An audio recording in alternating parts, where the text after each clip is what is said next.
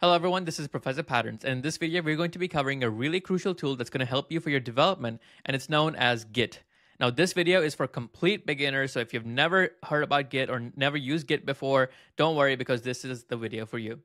So let's go ahead and get started. So imagine if you were writing a book. What's your workflow going to look like? Well, you'll write some stuff, and then once you're happy with it, you're going to save it.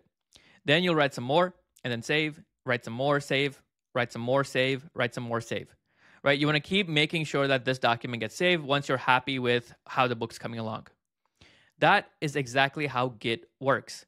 Every time you hit save, we refer to it as a commit. So how it looks like in coding is this. So here I am on my VS Code interface.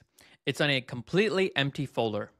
Now, to start off, what I'm going to do is go to source control, and then here I'm going to initialize a repository. So basically, all this means is that VS Code is going to keep track of all of the different files and any changes to the files that we make.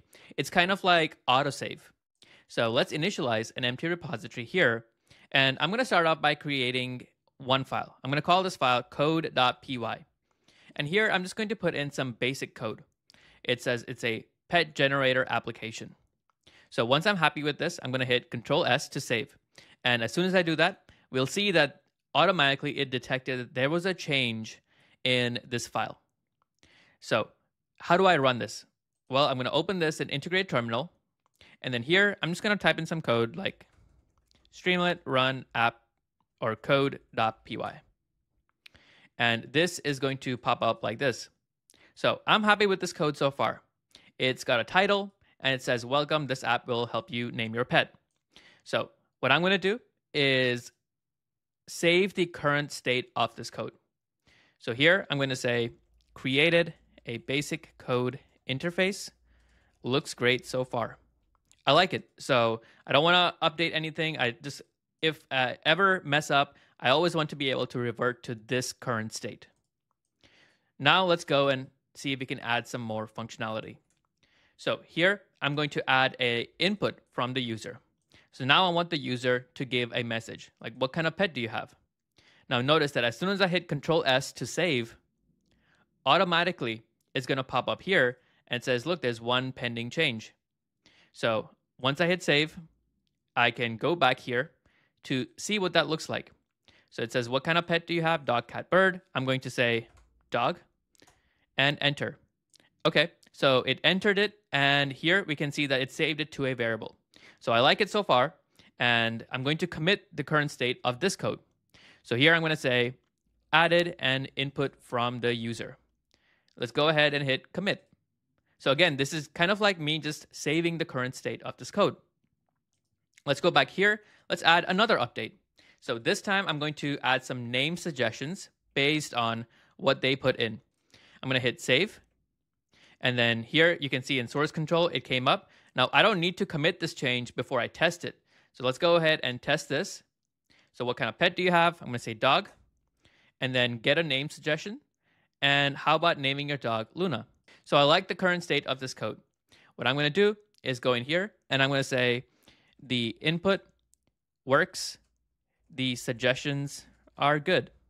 And I'm simply going to hit commit. Now, if I go to the source control graph, here I can see all of the changes that were made in each save or in each commit. So these were all the changes made here and here. Now, here on my code, I can see that I'm getting some warning message. So it says I need to change the name of the file from code to code one or something. Just change the name. So let's just call this code one. Now, when I do this, you can see that here in the source control, the changes were that code.py was deleted and code1.py was created. So again, what I'm going to do is to say renamed file to code1.py. Simply hit commit, and there we go. So now we have this good state of this code. I like the current progress. I think it works well. So what can I do from here? Well, I can publish this code into something like GitHub. This is where I can publish it into either a public or a private repository. Now, I have another whole video on how you can set up um, Git and GitHub with VS Code. So if you don't, if you haven't watched that video already, then I would recommend watching that one. But all I would do is I would simply hit publish branch.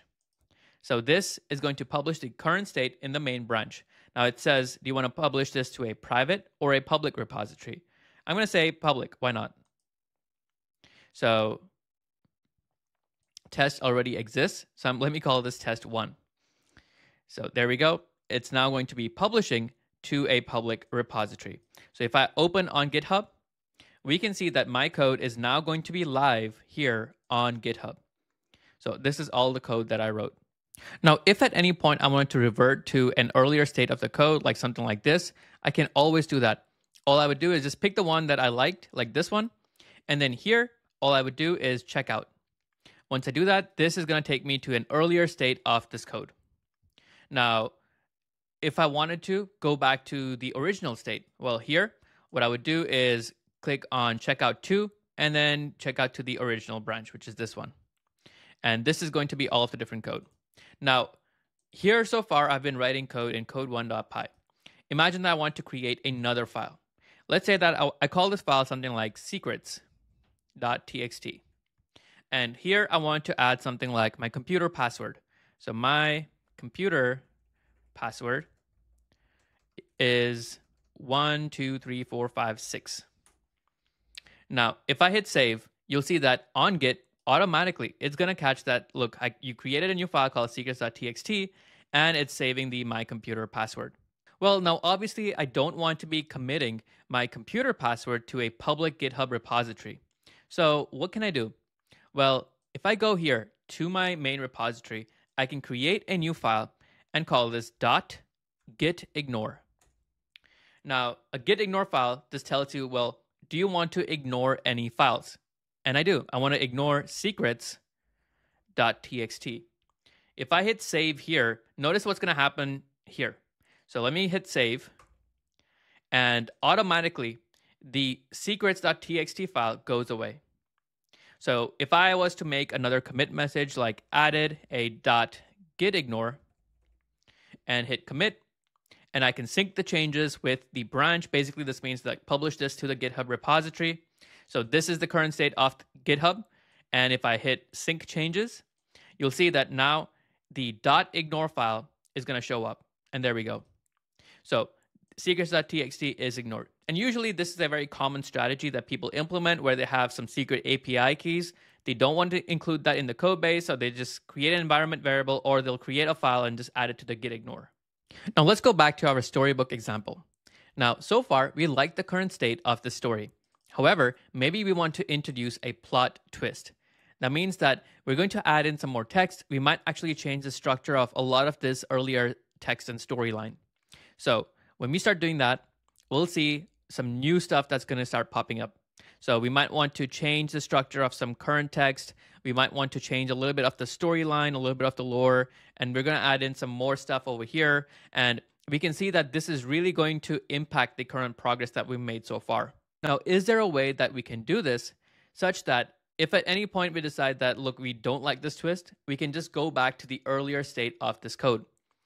And the answer is yes, through the use of something that's known as a branch. So if you take a look at what happened so far, we built up this character. We said that this character is walking through a forest and then it sees a ghost. Now, the plot twist is that the ghost is her brother. So that is an alternate branch that we can take if we want to just keep continuing on this, this is our main branch, right? So this is what it's going to look like. Now, all the changes that we'll make in the plot twist branch is going to be completely isolated from the main branch. So this is all happening in the main branch. We can continue this main branch here. But if we wanted to try the alternate branch, then we can make all of our changes here.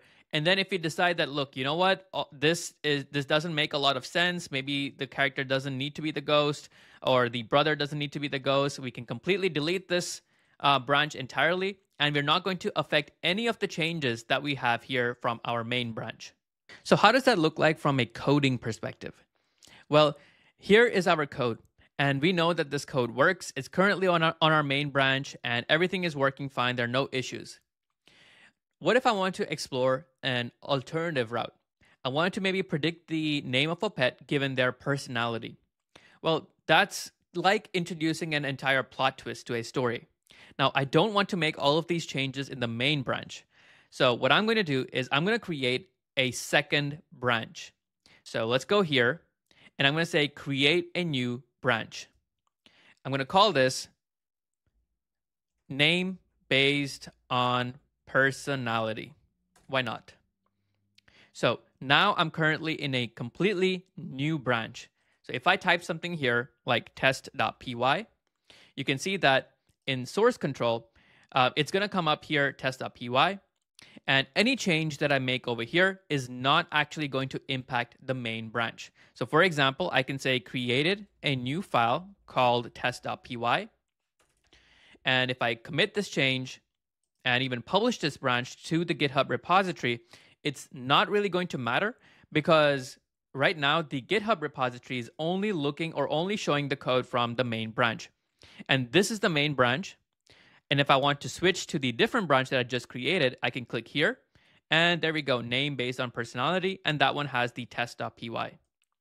So what I'm going to do is go in here and look at code1.py. So here I'm going to make a significant change to the code base. So let me do that. And I'm going to simply hit save. Now I'm going to go in here and then I'm going to say edited the code1.py and simply hit commit. Let's take a look at what that's going to look like. So if I refresh this page, it says personality pet name generator. Let's name your pet based on their personality. It doesn't really matter if um, it, the code works or doesn't work because it's actually not really impacting the code in the main branch. So I made a commit. Let's see if I can finish the rest of this code here. And I'm simply going to add that onto my code1.py. So let's do that here. And there we go. Let's open up our code to see if this actually works fine. So let's name your let's name your pet based on their personality. It's magical. Pet is lazy. And then favorite color. I'm gonna pick a random favorite color. And then generate name. It says Merlin the Chill. So I like the current state of this code.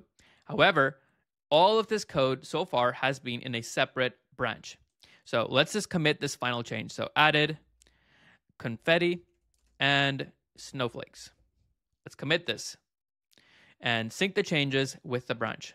And if I take a look at the repository, I can see that there is a main branch that's pretty much untouched, and there is a name based on personality branch, and this is where we made all of our different changes.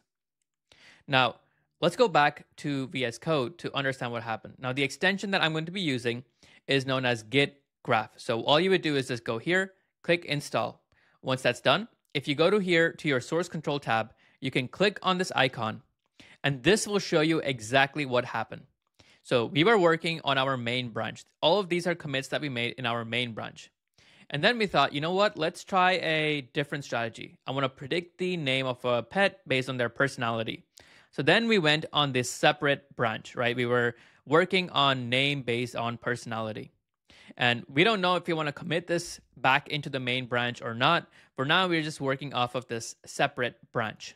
Now, once we're pretty happy with the progress, what we can do is submit something known as a pull request.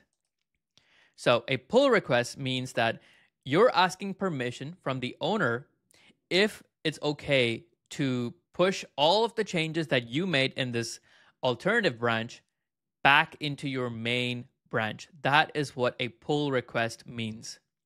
So here I submitted a pull request and I said, I want to merge all of the changes from name based on personality to the main branch. Now, right now, I'm the only person working on this repository. So it doesn't matter. I'm just going to approve these changes. But you can envision a scenario where you can have multiple people working on different branches. And there's a main branch, and that's usually the one that's currently in production. And if you wanted to make a change, maybe you want to edit the code base, you want to um, try some stuff out, and you see that everything works in your um, alternative branch, what you would do is you would submit a pull request and request the owner of that branch, if it's possible, to merge your code from your branch into the main code base. So here I've submitted a pull request and I'm simply going to create the pull request. And after that's done, it says that the merge has no conflicts with the base branch. So now I can merge this pull request in and confirm this merge. And once that's done, you can see here that automatically it's not going to fill up with the updated changes. And the reason for that is this happened on GitHub. Right? It merged the branches on GitHub. So if I go to my GitHub page, click on test one, I can see that code one reflects the new updated pet name generator based on their personality. However, if I go to VS Code, here I know that I'm on my main branch. Um, if I click on code one, it's still the old code. So on GitHub, we made the pull request and then we merged it with the main branch. However, on VS Code, it's still not going to be reflected. And the reason is because it's only updated on GitHub. We still have to pull those changes down to our local VS Code. So all we would do is go to source control and then sync the changes with the branch. And then once that's done, we can go back here, open up code1.py, and we can see that now it reflects all the updated changes that we made. And if I go to source control, click on this graph, we can see exactly what happened. We were working on this branch, we created a separate branch, and then we simply merge this branch to the main. And that is the basic idea behind branches. Now that's it for this video. Thank you all for tuning in. If you want me to cover an even more advanced guide to Git and GitHub, then please leave a comment in the comment section below, and uh, I'll see you in the next one. Goodbye.